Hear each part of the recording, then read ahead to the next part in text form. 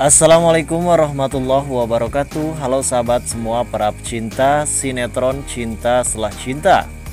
Di mana pun anda berada kembali lagi nih bersama saya di channel kesayangan kalian Yang tentunya akan membahas kembali guys Sebuah ulasan alur cerita sinetron cinta setelah cinta. Yang tentunya semakin seru lagi untuk kita lihat Nah guys, pada episode kali ini kita pun semua tahu bahwasanya antara Arya dan Starla saat ini sedang melakukan honeymoon di mana mereka saat ini sedang melakukan kebahagiaan yang sangat bisa tergantikan. Nampaknya mungkin pada episode kali ini seperti yang sudah kita ketahui di mana antara Arya dan Starla sempat menanyakan perihal tentang perasaan Arya selama ini kepada Starla. Namun Sontak saja Starla pun terkejut ketika Arya pun mengungkapkan dan mengutarakan perasaannya kalau selama ini wanita yang dicintainya bukanlah orang lain melainkan dirinya sendiri. Dan tentu hal ini membuat Starla pun semakin bergetar guys. Karena sepertinya Starla pun sudah mulai tumbuh cinta akibat kedekatannya bersama Abang Arya dikatakan saudara yang sangat begitu dekat dan tak hanya itu guys, permasalahan demi permasalahan pun yang kian merajalela ketika ia menghadapi kisah percintaan antara Arya dan Sarla. Nampaknya Ruben dan Ayumi yang sampai detik ini juga guys mereka sempat merencanakan untuk supaya bisa memisahkan di antara Arya dan Starla dan apakah yang akan dilakukan oleh Arya dan Starla ke depannya. Tentu kita semua bakal dibikin penasaran lagi nih guys dengan alur dan kisah ceritanya. Namun sebelum lanjut juga guys ke pembahasannya bagi kalian yang baru saja bergabung dan menemukan channel ini Alangkah baiknya bantu channel ini dengan cara tekan tombol subscribe Dan hidupkan juga tombol lonceng notifikasinya agar kalian tak tinggalan info-info menarik seputar sinetron cinta setelah cinta.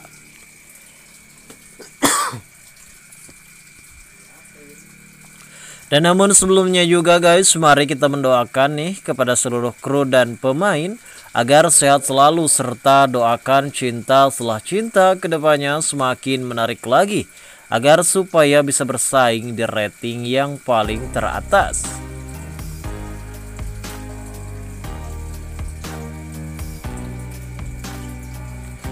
Di adegan awal seperti yang sudah kita ketahui guys di mana si pelakor Ayu yang sempat saja datang di acara festival hari pertemuan kinerja antara perusahaan Niko, Arya begitu semua perusahaan yang memang sempat saja berkumpul di suatu kota tersebut. Yang nampaknya Ayu dan Niko pun di sini sempat mereka pun ikut serta dalam pameran tersebut. Yang pada akhirnya di sini si pelakor Ayu yang sempat saja dikejar oleh seorang penjahat sehingga dirinya pun telah bersembunyi di semak-semak. Kondisi Ayu pada saat itu sedang hamil besar guys. Dan di situlah di mana Niko sendiri sempat tidak khawatir karena nampaknya Niko sendiri di sini berpikir dan mempunyai firasat kalau Ayu di sini sedang melakukan rencana apa lagi sehingga membuat Niko di sini kurang perhatian nih terhadap istri yang memang kali ini sangat didambakan sehingga dia pun akhirnya merasakan kekesalan ataupun penyesalan ketika ia menikah dengan sosok Ayu. Di sisi lain di sini terlihat si Rina, guys. Nampaknya Rina pun di sini kurang bisa tidur melihat si Joni dan si Kana yang saat itu sedang tertidur pulas.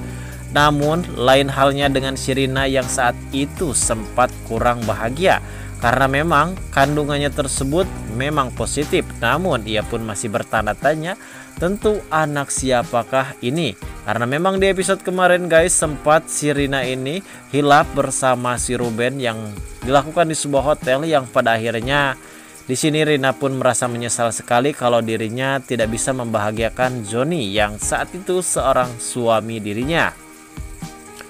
Namun pada saat itu di sini Rina pun sempat bertemu Ruben Kusnadi yang pada akhirnya Ruben Kusnadi pun sempat menanyakan anak yang ada di dalam kandungan Rina dan Rina pun masih saja mengelak dan membenci Ruben tersebut guys.